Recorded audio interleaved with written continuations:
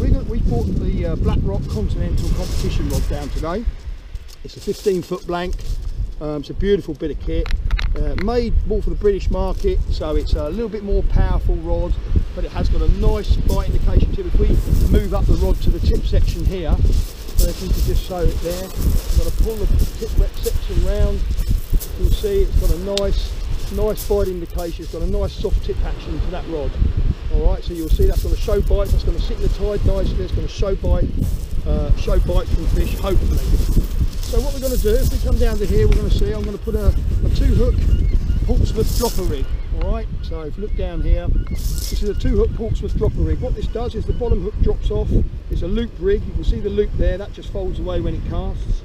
This bottom hook will drop off and fish tight to the seabed on a long flowing trace, obviously, moving with the tide, which is what we want. We've got a nice tide running today, so hopefully we're going to see the, the rod pull round in the tide. Um, and we've got a two hook rig, so we've got a nice long uh, top trace and a nice even longer flowing bottom trace. But it's clipped up for distance casting so we're going to clip it up. That'll all come unclipped when it hits the water uh, and then it will sit nicely in the tide. And hopefully we might catch some plaice with some other fish on it. We'll see. So we're going to put it on cast it out and see how we get on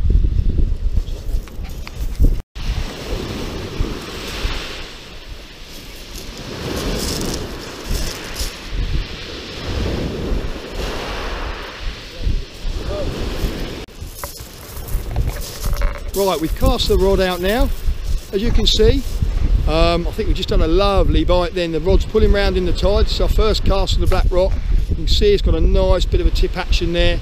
Pulled round in the tide, there it goes. And you can see that rod moving. There's a fish on the end of that. We've just had a nice pull. Probably a plaice, I would think. There's quite a lot of plaice about at the moment. Um, but if you can see that tip, hopefully it'll pull again. You can see that. There we go, look, it's pulling in the tide.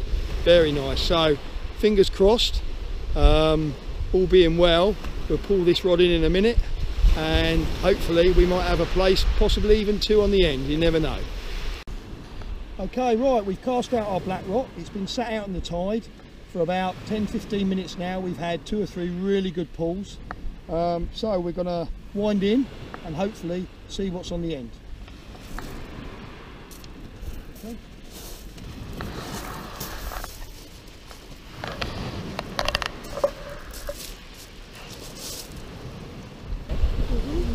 it's bending nicely. It feels like we've got something on, nothing too massive, but um, it's got a nice bend in the rod.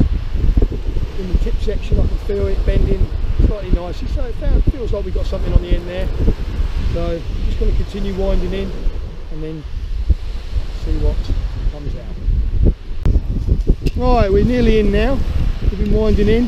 Definitely got something on here. It'd be interesting to see what comes out. I can just see my leader coming up now something pulling so we're just going to get closer to the sea. We get right close to the water we walk down to there. There we go. Let's see what's going to come out. Oh there's something on the top. There we are. Look at that.